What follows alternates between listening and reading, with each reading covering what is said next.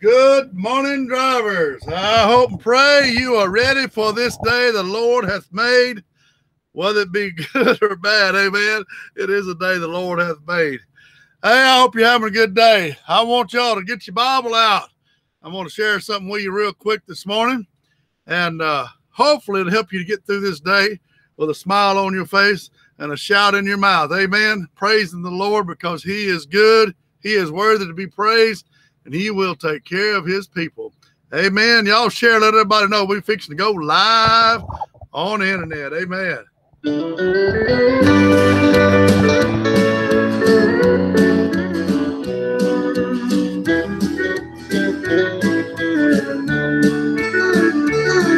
God's given us a road map to follow. He's detailed every path his own hand. He wants to steer us down the straight and narrow and guide us till we reach the promised land. I'm in it for the long haul with Jesus. Detouring around those side streets of sin. I'm in it for the Trucking down the highway for him.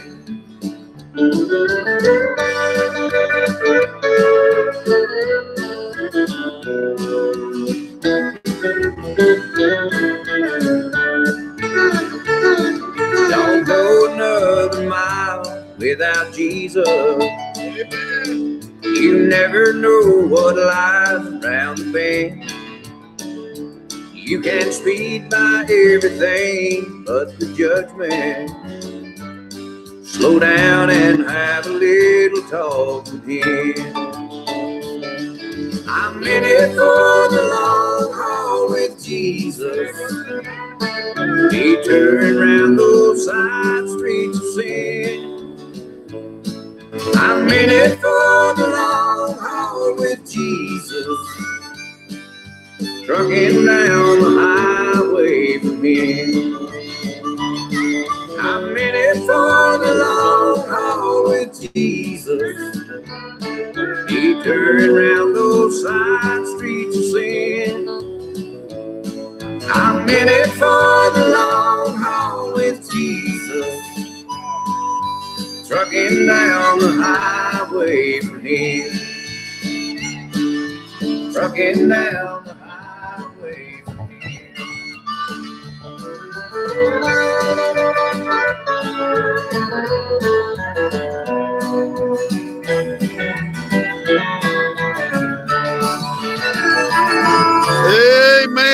must remember we are trucking down the highway for Jesus. Amen. We are ambassadors for Christ. That means we let our light shine for Jesus no matter how things are going in our world. Amen.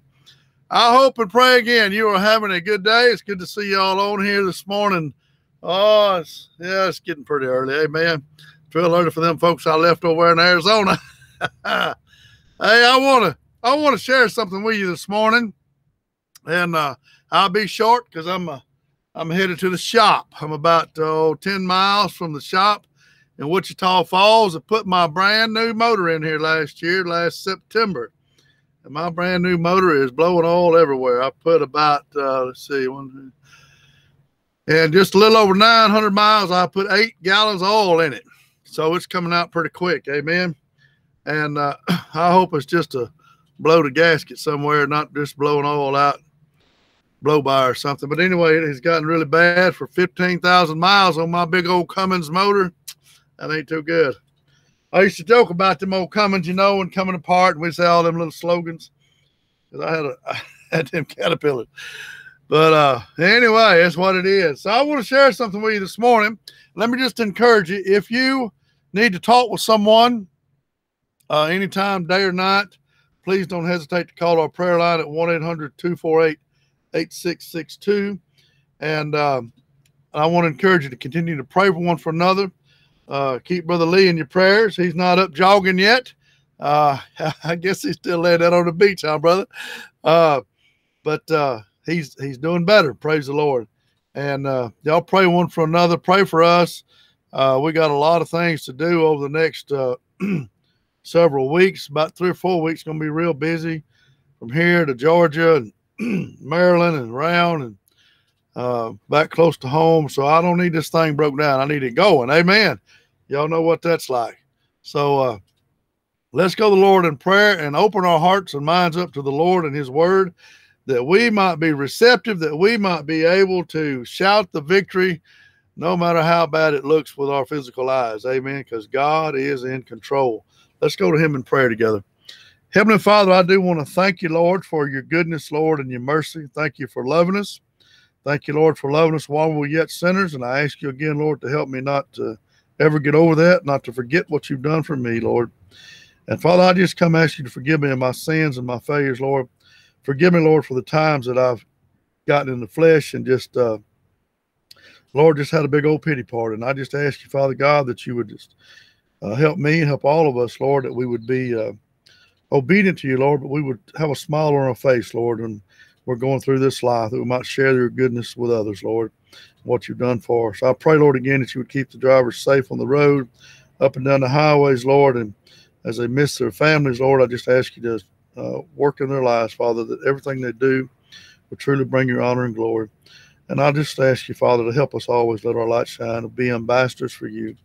We are missionaries on the highway, Lord. and May we never forget that. For it's in Jesus' name I pray. Amen. Amen. I want to share something with you in Psalms uh, 107. Psalms 107. You ought to just read the whole psalm, but it mentions about five times about God taking you out of your trouble. And uh, and it in verse 2 it says, Let the redeemed of the Lord say so, whom he hath redeemed from the hand of, of the enemy. we are the redeemed of the Lord. Amen. We are his people. So we ought to be the ones saying so. We ought to be the ones shouting the victory. And uh, verse 6, he says, Then they cried unto the Lord in their trouble, and he delivered them out of their distress. Now they was wandering around in the wilderness, and they had troubles. And we are wandering around in the wilderness, so to speak. We are out here in the world, and uh, we're going to have troubles. The Bible says it rains on the just and the unjust. And uh, the difference is how we, as the redeemed, handle those situations when it rains a little too hard. Amen. And so it says that they cried unto the Lord. And when they cried unto the Lord, he delivered them out of their distresses. And if you drop down about verse, uh, oh, let me see, about verse 13, he says, Then they cried unto the Lord in their trouble, and he saved them out of their distresses. And uh, it, it has a, uh, an idea of being set free.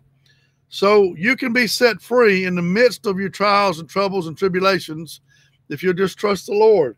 Uh, there's a difference in, like Paul said, of being content in whatsoever state you're in, whether you things are going good and that old motor's purring real good or it's not. Amen.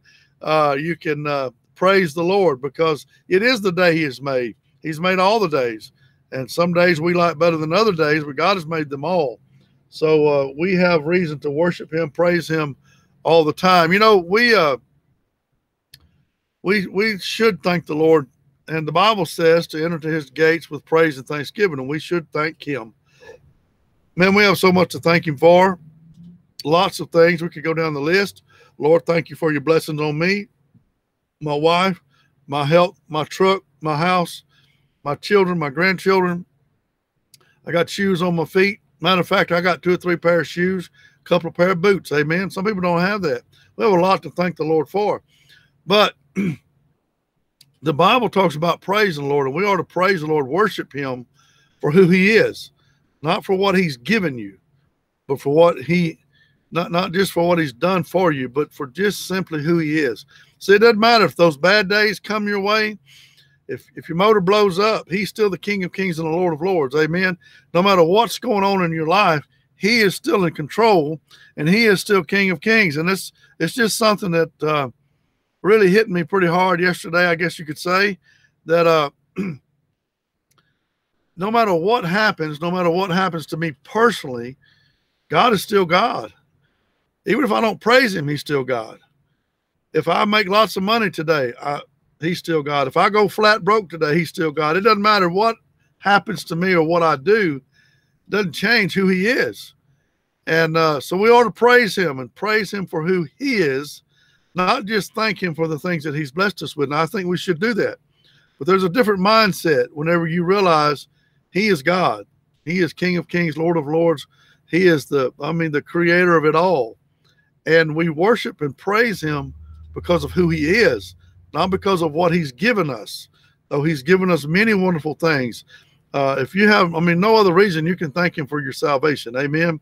So I just want to encourage you today that when you're in trouble and you're in distress, to call out to the Lord, to cry out to the Lord, to pray, seek him and his word and his will. And I want to just leave you with this because, see, these things happen in life. We hit a little low, we go down in the valley. You know, I talk all the time about life is like a highway. So I like this song that Brother Brad sings about the roadmap, been in the long haul with Jesus, because he's talking about detouring around sin and different things that come up in life.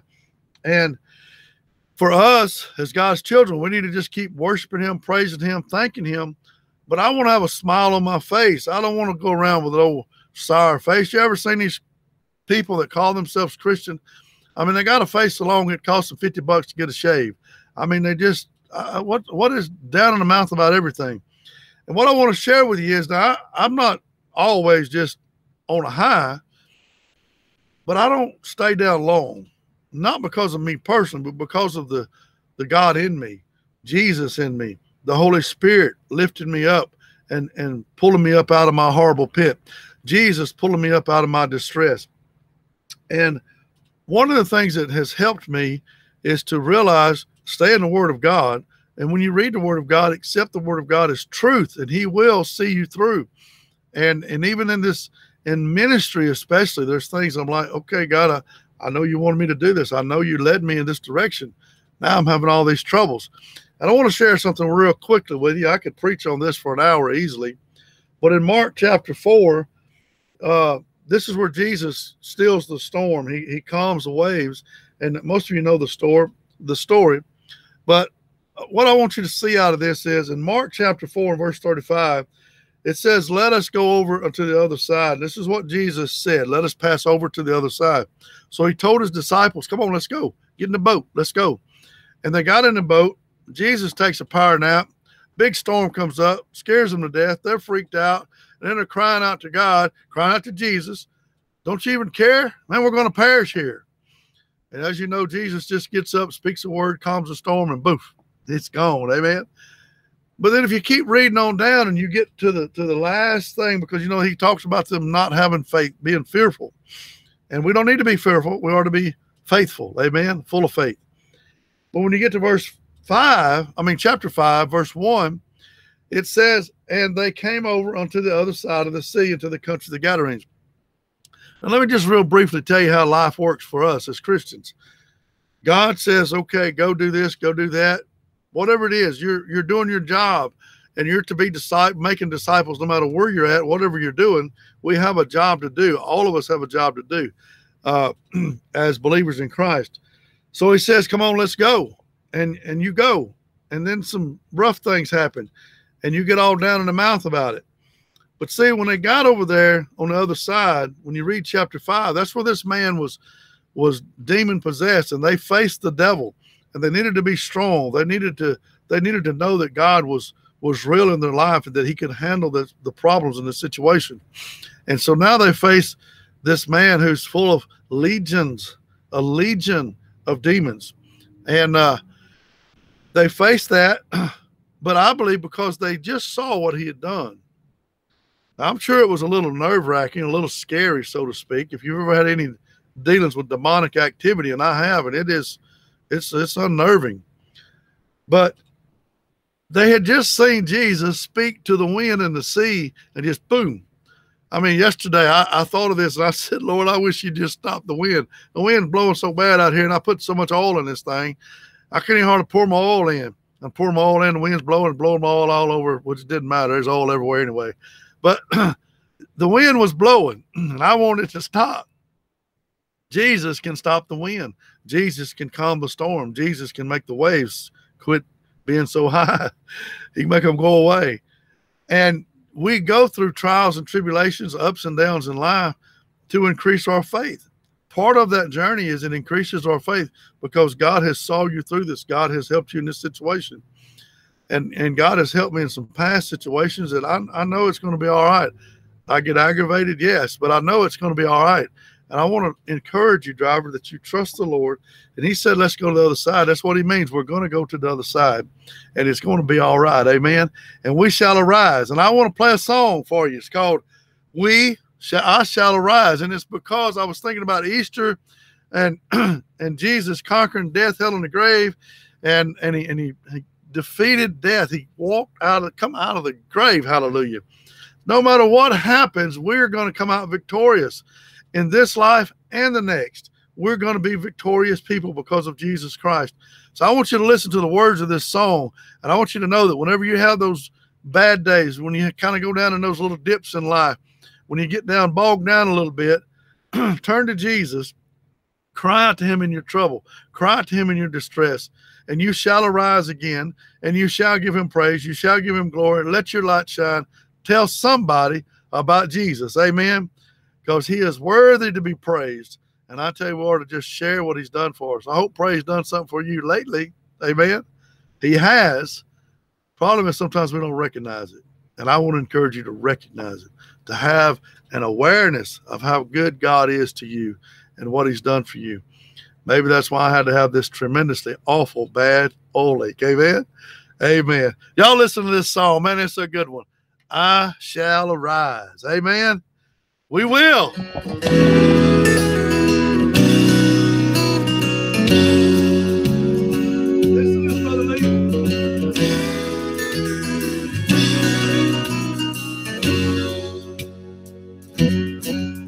There's a scripture in Bible It's so good to me. And oftentimes I read it when I need victory. And when I have fallen, devil, you just understand. I won't be down long. I'll get up again. When I fall, I shall arise. Cause Jesus will hear me when to him I cry. Oh, I refuse to lay down, stay down till I die. When I fall, I shall arise.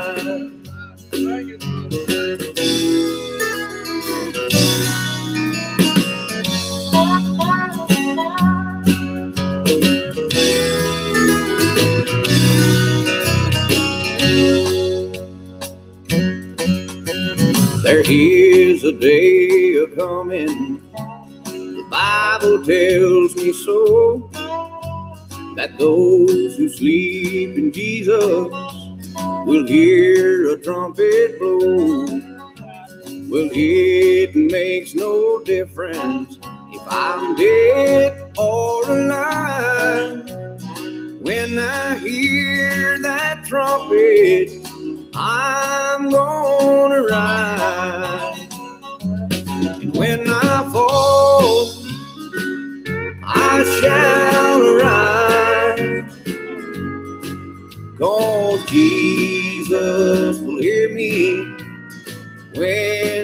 I cry. Oh, I refuse to lay down, stay down till I die. When I fall, I shall arise. Oh, I refuse to lay down, stay down till I die. Shall arise.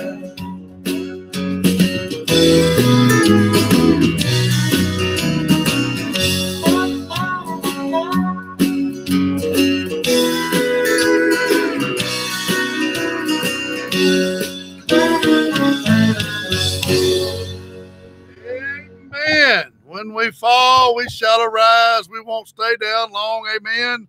Don't you forget that, driver. You tell somebody about Jesus today. We are ambassadors for Christ. Shout the victory.